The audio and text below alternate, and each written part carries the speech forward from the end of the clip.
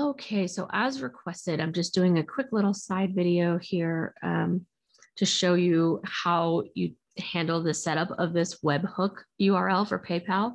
So um, I, I did link to something down below in the description originally, but it was maybe a little confusing for some people. So um, let me just explain that to you right here. So when we're in the middle of creating our um, our Zap here, if if you didn't start, like if you're just starting with the creating the webhook, make sure you click up above. I'm gonna um, suggest the other videos so that you can see the actual creation of this Zap that we're doing. Um, but just to help you understand how to do this webhook piece. So when you're logged into your Zapier account and your Zapier, Zapier, I always do that. Um, when you're logged in here, it's going to automatically populate this for you right here, this um, PayPal webhook.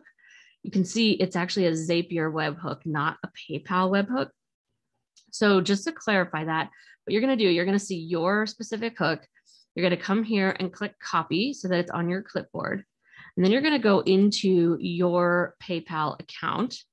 Keep in mind, it has to be a business account in order for these settings to show up for you. So if you don't already have a business account, um, you're going to need to do that first um, and just upgrade your personal account to a business account.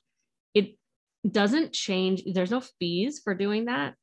Um, but it then may um, put you in a situation where if somebody is sending you money, um, it might charge you a fee. So if you use PayPal for customers, clients to pay you for things, then you should have a business account and you should be paying the transaction fee, right?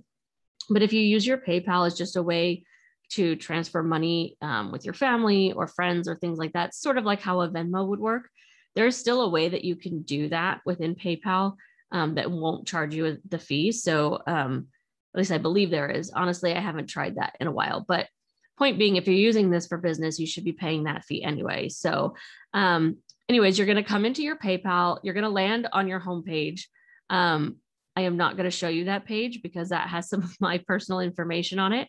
But when you get to that homepage, you're going to just hover over your name in the top right corner and go down to account settings. And then you'll end up on this page that I'm on right now. Then you're going to come um, over to, where did my mouse go? There we go. You're going to come over to here and search IPN. It's all you have to search and hit enter. And you're automatically going to see instant payment notifications. Okay. Then you just click, yours might say um, create or set up or something like that. Um, mine's already there. So it says update. Either way, you just click here. And then you're going to come into this page. And as you can see, I already have this um, your URL here. Um, and it says it's enabled, but you won't have anything there. So you're going to go ahead and hit edit settings.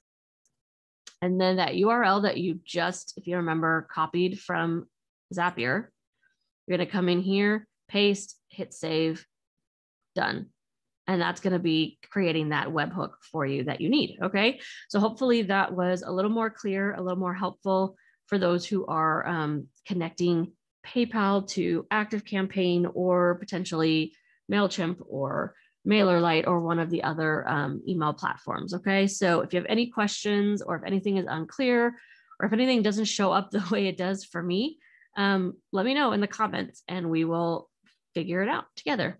All right. Have a great day.